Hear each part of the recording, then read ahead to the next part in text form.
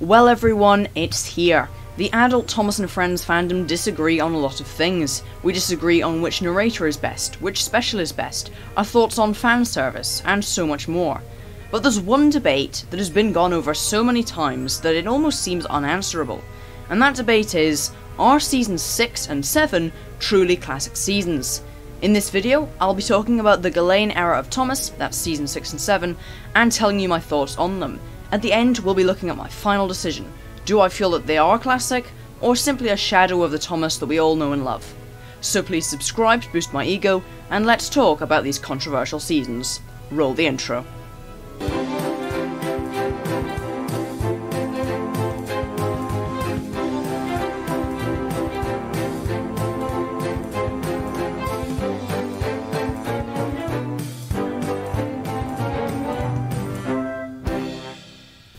Seasons 6 and 7 were kind of the awkward adolescent phase of Thomas, and today there are five areas I want to group my thoughts on them into, and the first of those is the writing.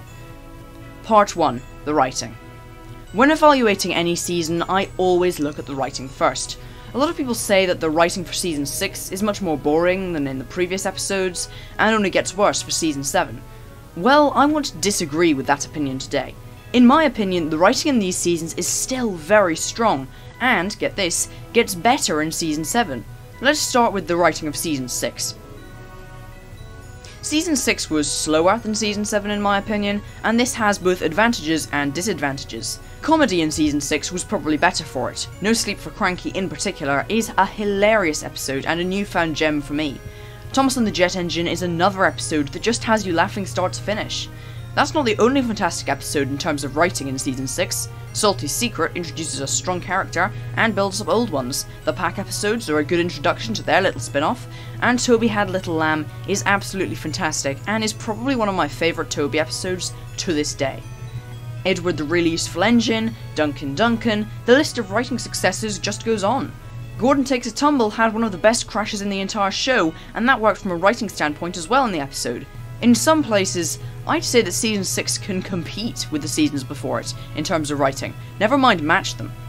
However, season 6 also has plenty of writing duds. The team heading the franchise has had a lot of changes to it during and following Magic Railroad, so an updated team of writers were trying to get to grips with how the show worked. This season honestly struggled a little with the tone of Thomas. There aren't any Three Strikes Formula episodes here, but it was clear to see that the finesse of season 5 was somewhat lost. There are plenty of really quite childish episodes this season. See Percy and the Haunted Mine, or Jack Frost, not to mention Buffer Bother, as well as some which seem to disregard continuity altogether, such as Middle Engine or Rusty Saves the Day. I don't think Season 6's writing is bad or particularly fantastic. I think it's a very mixed bag, the most mixed bag of any classic season. I would say that in terms of writing at least, Season 6 is a classic season, just one with the kind of duds that the previous seasons didn't have. However, I have much more to say about Season 7's writing, and I think it's honestly a lot more interesting. Everyone knows that I think the most underrated season of Thomas is Season 9, but if I had to choose a second, it would probably be Season 7. Season 7's writing is so varied, every episode feels completely different. This season was transitional, and so the writing style is a little awkwardly stretched between good and bad. Sure, morals were pushed a little too much at the end of episodes, but the episode plotlines themselves were really strong. There are so many great episodes this season, and it really does feel like a finale to Classic Thomas. Salty's Stormy Tale was my favourite episode of both seasons combined when I rewatched them for this video. It really gives Salty a lot more substance, and feels more like a Season 5 episode than a Season 7 one. It's very difficult to talk about the writing for this season without going into the characters, but that's a different section of the video, so suffice to say for now that one of the reasons I actually prefer this season to Season 6 in terms of writing is that it's a lot more character driven. A lot of Season 6's episodes were simply something happens to a character, they react somehow, and learn a lesson. Season 7 has the events of episodes actively driven forward by the characters. From Bill and Ben rebelling against Fergus, to the wonderful arcs of the new characters, Season 7 was no doubt made great by its cast. However, I would be lying if I said that this season was flawless. There are some poor episodes here and there, Edward's Brass Band and Rheneas and the Roller Coaster in particular. Those episodes, particularly Rheneas and the Roller Coaster, feel very like they came out of Season 10. Rheneas and the roller coaster is particularly bad because it tries to make the episode feel like a wild runaway roller coaster hybrid, and it just doesn't work. It doesn't hit the seriousness like in A Close Shave, and it doesn't hit the humour like in Thomas and the Jet Engine. This results in a very lackluster sequence, in my opinion. Have you noticed something though? I didn't put the old bridge and What's the Matter with Henry on my list of bad episodes from this season. Why on earth would I not classify the two episodes that everyone thinks are the worst of the season as bad? Well, I don't actually think they are all that bad. People complain about the old bridge portraying Skarloey out of character, and believe me, I do agree. However, there's a theory that this episode actually takes place during the olden days when Skarloey and Rheneas first came to Sodor. Cut out a very small Duncan cameo, and no one except them and the Fat Controller are in the episode. Besides, the episode teaches a really strong moral, it just perhaps had the wrong context for it. I don't love the episode, but when placed in the right time period, it can just about work. As for What's the Matter with Henry, I like it. Wait, wait, no, please don't shoot, I can explain! What's the Matter with Henry is often criticised because it portrays Thomas and Percy out of character, and uses the trope where Henry is ill. Alright, let's get something straight. Back in season 7, Henry being ill wasn't a trope. We're so used to it now because we've lived through the Brenner and Miller eras, particularly the latter, which always showed Henry as a bumbling sick coward. Back here, this was simply his age catching up with him. Just because someone is sick once, and then again, doesn't mean that their second sickness is evil and lazy writing. Thomas has been sick quite a few times. Thomas felt very miserable. One morning, Thomas wouldn't wake up. His driver and fireman couldn't make him start. His fire went out and there was not enough steam. In addition, Henry still tackled a whole huge train and tried his best to get through. We should be awarding that as a consistency, not inconsistency. As for Thomas and Percy, I can't say I understand why people think they're out of character here. They were jerks in the Railway series, and I don't think them basically bullying Henry is too many steps away from that, at least not for Thomas. Season 7 actually had better writing than Season 6 for me because it was more character driven and varied. Again, I'm drifting towards talking about the characters too much. Speaking of which, maybe it's time I'm allowed to rant about them. Part 2 The Characters. These two seasons have some of the best new characters of any seasons in the franchise. Let's start with Season 6. Salty is undoubtedly the standout here. He had a strong debut and is one of the most prominent secondary characters in the show to this day. Every single episode he's been in layers his personality even more, and it all began in Season 6. Salty is probably just about in my top 10 favourite characters of all time, and that's a testament to the ingenuity that the team had during the Gullane era. I have less to say about Harvey. I don't hate him, but I've never thought of him as a particularly strong character. His debut is kind of meh, and he fulfills his purpose and pops up here and there in future seasons. His design is certainly unique, and to this day, I'm not sure whether I like it or not. He's more of a plot device to fix accidents on the railway than a character, similarly to Rocky. Elizabeth is a fun character, and one I'm really sad didn't get too much development leading on from Season 8. She works well, and the moment she sasses the Fat Controller and their special history is revealed is a really fun one. Honestly, she's one of the stronger female characters that has come out of the show. On the one hand, she'll stand her ground and is very determined, those are admirable qualities, but at the same time, this also means she can be quite rude and bossy. This gives her two really interesting sides to her personality that don't feel quite right without the other. She has a unique design and a unique character. I do feel I have to give a mention to the pack as well, since they are kind of intrinsically linked to season 6 and 7. There were a few people asking for my opinion on them, and I like them. I don't think they were ever going to set the world on fire, but they were a cool concept, and I wish they'd appeared a bit more. Jack's two Season 6 episodes weren't the greatest of the season, but they provided a solid foundation for the pack characters to work off. If they'd given them a couple more episodes to expand on Alfie and other important characters before the spin off started, replacing the poorer episodes of the season, then I might think the pack the best part of Season 6. I won't say too much about the spin off itself because that's a little off topic, other than I find the cancelled episodes super interesting and wish the show had continued with a little less interference from Hit. Again, I have much more to say about the Season 7 side of things. These are some of the best non Awdry characters in the show, mostly for their designs. They were all very unique concepts that were clearly inspired by a similar creative talent to that which Awdry had when dreaming of the books. Let's start with Emily. Although seasons 8 through 12 will always be my favourite incarnation of Emily, season 7 does her really well too. She's introduced in a decent debut to start the season off, but the way the season expands on her character is genius. After her introduction, she makes several more appearances, but in secondary roles, normally acting as the giver of advice or compassion, notably in Salty Stormy Tale and What's the Matter with Henry. They introduce her and then slip her in wherever the season needs a character afterwards to get the audience much more used to her. Emily was a great concept. Her design is a fascinating one with a lot of real life history behind it, and she's a strong character here and going forward, albeit in a slightly different style from season 8 onwards. Fergus is also a good character. I made a video on him which is unlisted but available through one of my playlists. In it I talked about how he was essentially based off the personality of his designer's guardian, and to me that makes him much more interesting as a character. Fergus Breaks the Rules is certainly his standout episode, and most of his others are good as well. His dynamic with Bill and Ben is certainly interesting to watch, and I think he's a character I'd like to see more of someday. Arthur is in my top 20 characters of all time for design alone, his design is so unique, and it's nice to see a larger tank engine for once. His ongoing dynamic with Thomas is handled really well. I think Arthur and Fergus have a lot of similarities. They're both good characters that play on the perfectionist trope, but in different ways. Fergus is more strict and has very strong opinions. Arthur is more mild, like a quiet student who focuses on doing his best, and beats himself up if he feels like his spotless record has been broken. Murdoch. This character is another one with an absolutely sick design, but personally, I don't see him as having much character. I know there are certain people in my audience that will want to murder me for saying that, but understand that I really don't hate this character. It was nice seeing him in Best Dressed Engine as a more recurring character. Much like Harvey, he worked fine for the purpose he served, but he wasn't really anything special for me. Spencer is a different kettle of fish. My third favourite character of all time, I cannot get enough of this guy.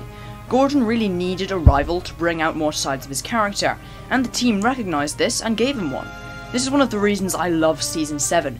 Every new character, except perhaps Murdoch, brings out something new in our main cast. Emily brings out new sides of Thomas and Henry, Fergus brings out new sides of Bill, Ben, and Diesel, Arthur brings out another side of Thomas, and Spencer brings out a new aspect to Gordon. Season 7 has a huge cast, but every new character contributed something and made their mark on the season, unlike Season 6, where the new characters pretty much all just appeared for their debut episode. The existing cast were also treated fairly well in both seasons. There aren't too many character inconsistencies, but the main cast were somewhat reduced to just a couple of characteristics. Thomas is naive and in full classic personality, Edward is the old reliable figure, Henry begins to lose some of his confidence, James is always boastful, etc. It's worth noting that there are gaps in the main cast for both seasons. Henry is barely seen at all in Season 6, and in Season 7, Duck takes somewhat of a back seat. In both seasons, we did see plenty of fan favourites getting the spotlight. Duck played a lead role in Scaredy Engines, Donald and Douglas drove the stories of Twin Trouble and Bad Day at Castle Loch, and Oliver was the star in Snow Engine. In addition, the episode Faulty Whistles at the end of season 6 was essentially an adaptation of the Railway series story Mike's Whistle, just using the narrow gauge engines. There was certainly a good bit of fan service in these seasons, and for the most part, it was done quite well. I want to dedicate some time to the narrow gauge engines, because I think that these two seasons treated them completely differently. First of all, season 6 only has 3 narrow gauge episodes, whereas season 7 has twice that. But I want to look more at the format, the way these episodes were placed in the seasons, because I think it's quite telling. In season 6, all three of the Skarloey Railway centric episodes were at the end of the season in a block of three, now that might seem like a minor detail, but I really don't like it. It almost seems like the narrow gauge episodes were added on as an afterthought. To be fair, season 5 is a little better in this regard, but I like having the narrow gauge episodes very much interspersed between the standard gauge ones. You get a feel for the variety of the universe that way. Season 7 does this brilliantly. That being said, I do feel that Season 7 didn't do the Skarloey Railway justice in the way it was modelled. In Season 6 and before, the railway was always full of trees, shrubs, and bubbling rivers, very warm and cosy, while having a harsher aspect to it with the storms and flooding, which contrasted really well. In Season 7, however, the Skarloey Railway just looks like a giant plain of rock and mist, and wide rivers, and feels very open and exposed. The hit era actually remedied this somewhat, but I'm not really a fan of it here. But let's move on to some more miscellaneous stuff, starting with the narration. Part 3 The Narration. To be honest, I don't like any of the narration for these seasons. In both cases, I think America had it worse, but the UK dubs still aren't fantastic either. Alec Baldwin was going through some pretty tough stuff in his life at this point, and just lacked enthusiasm in his season 6 narrations, including the infamous Scary Jack Frost, cried James. Michael Angelis was fairly good in season 6, particularly in Thomas and the Jet Engine, but he still lacked the same energy he had when voicing seasons 3 through 5. If season 6 had mediocre narration, then season 7 was in a different league altogether, and not in a good way. Let's talk about Michael Brandon. Michael Brandon has the unique talent of complete inconsistency with his narration. In season 7, he was absolutely rubbish and the characters' voices simply didn't work, and then in season 8, he did some of the best American narration since Carlin. To be fair to the guy, Brandon's narration for season 7 was done on fairly short notice after Baldwin dropped out. Angelis was still narrating for the UK, but was much slower and just lacked his previous energy. Personally, I think he picked up a little again in season 9, but that's just my opinion. The narration for these seasons certainly does set them apart from the previous five, and not in a good way, but what comes next does not. Part 4 Music. So, I know nothing about music. Like, absolutely nothing. It's my worst class in school, and I just don't try and question it too much. However, my friend Stepney Bulstrode Music, who makes some really creative Thomas remixes and mashups, link in the description by the way, kindly agreed to advise me on this part of the video so that we can pretend I'm really a music genius. No, just kidding. Pretty much everything I say about music from this point is from Stepney Bulstrode's expertise, so seriously, check him out. Stepney says that he thinks it's a bit of a mistake to lump the music from these two seasons together. He explains that Season 6 brought the woodwind section of music to the fore, with more flute based themes. This continued into Season 7, which also introduced more experimental styles which incorporated brass, Spencer's theme being a great example of this. In addition, the music which introduced episodes was more varied and often used various themes layered on top of each other. Both seasons did things with music never before seen in Thomas, particularly season 6, with Irish pub melodies and 3-4 waltz remixes. Toby's Windmill is a standout episode for the music alone, with a beautiful rendition of Toby's theme and then a chilling version of the ominous theme used for Boulder in season 5, it really strikes a great balance between light-hearted and dark. We both agree that we enjoy season 6's music more, but there are still plenty of great themes in season 7 as well, this is certainly an area in which both seasons stay close to the previous ones in terms of quality. Part 5 Everything Else.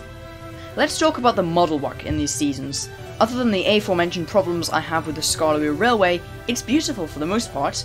Castle Loch and Misty Valley were very impressive set pieces here, and the engine models were mostly unchanged. One location stands above the rest for me, and that is Sudbury Castle. It's really stunning and is used in multiple shots which are really beautiful. Rusty Saves the Day is another fantastic celebration of model work and set design, even if the plot is a little, well, inconsistent. The model work in these seasons is by and large very good, particularly with the detail on smaller set pieces, such as the bridge in Toby Had Little Lamb. The weather effects are strong here as well, they create a much better atmosphere than snow and wind in CGI. It's worth noting that both these seasons, although season 7 in particular, were shot on a very tight budget, and therefore the fact that the practical effects were still strong is quite impressive. The colour of these seasons is another important aspect to discuss. Season 6 is infamous for having the most desaturated colour of any season, and it certainly does look dull, particularly in scenes where the sets would normally be colourful and vibrant. Season 7 doesn't suffer from this as much, and in my opinion, it has one of the best colour contrasts of any season. In fact, one thing I noticed when rewatching is just how much Season 7 uses colour to differentiate locations. The greens of Callan Castle, the red fires of the smelters, and that yellowy stone colour for the quarry all create a real sense of difference, and I like that. Sodor's geography was always at its finest when there was real uniqueness in each set. That's my main gripe with the likes of Season 8. The sets looked the same by and large, and everything was green and grey, except for the winter episodes. And finally for this section, I want to talk about some technical stuff. The variety of camera angles and shot compositions was much the same in these seasons as it had been previously, but there was one glaring issue in Season 7 which I know that people will be wanting me to talk about, and that's the copious amounts of stock footage. Like, seriously, there was so much stock footage in Season 7. Season 6 didn't have too much, but 7 was just filled with it. Season 7 has a very strange production history that I still don't fully understand, but suffice to say that I would say stock footage makes up a good sixth of the running time in total, and even more than that in episodes like Toby's Windmill. This was likely due to the aforementioned tight budget. So those are some opinions from me, But let's take a look at what the community thinks of these two seasons. Community opinions. For this video, I made a short survey about these seasons and posted it on the wiki, in my own community tab, and on Sodor Island forums. I asked four simple questions. Which season of the two is your favourite? Which thing was best about season 6? Which thing was best about season 7? And finally, if people regarded them as classic seasons or not. Let's take a look at the results. I asked for responses on this form, and thankfully, I got a couple. Looking at the first question, I gave you guys three options. To say that you preferred Season 6, to say that you preferred Season 7, or to say that you felt pretty much the same way about both of them. Interestingly, the results were surprisingly close. Overall, Season 6 is preferred, but Season 7 has a lot of supporters as well, at roughly a third of the total vote. There is also a sizable group of people who would lump them into pretty much the same category. The next question is also very evenly split. People were asked which aspect of Season 6 they enjoyed the most, and it seems that opinions are very divided on this point. The new characters won the majority of votes, with the model work coming in at second. Opinions on Season 7 were not nearly as divided, however. The new characters of the season won the majority here as well, but this time at a whopping 60% of the total vote, leaving the model work and writing trailing in its wake. The new characters of Season 7 rival those of the five seasons before, no question. It's the last question, however, that I personally want to devote the most time to. I asked whether people considered these two seasons as classic seasons. And what can I say except that I wasn't expecting the results? Roughly half of respondents said that they do consider Season 6 and 7 classic, which was certainly not what I envisaged. We'll get to whether I agree in just a moment, but what's really interesting here is the next largest percentage of voters, who said that the seasons were very much varied from episode to episode. One episode could be a classic through and through, and another could be a boring cash grab. In a way, I'm really happy that this option was voted quite highly. In many online communities, and sometimes in our own, we look at things as very black and white old Thomas good, new Thomas bad. But there's a lot more nuance than that, and I'm really glad that people are able to appreciate it. There were also minorities of voters who didn't think that the seasons were good enough to be compared to seasons 1 through 5, and a small proportion thought that season 6 made the cut, but season 7 didn't. Are they classic seasons? So we've had to look at what a portion of the community think, but what are my views? Personally, I feel that seasons 6 and 7 are classic seasons, and that they still count as a time when Thomas was way more than just another kids show. Particularly, the new characters shine throughout. However, I'm going to go out on a limb and say that Season 7 is more of a classic season than Season 6 is. Season 7 had better characters, narration, model work, and, dare I say it, overall better writing than Season 6. 6 has some really good gems, but 7 is more consistent throughout, and other than one or two stinkers, is a solidly good season. Sure, it had the problems of overusing stock footage and maybe not having the best narration, but it almost feels like a sequel to Season 5 in the variety of stories that we have. Some are dark, some are light-hearted, and some are just in between.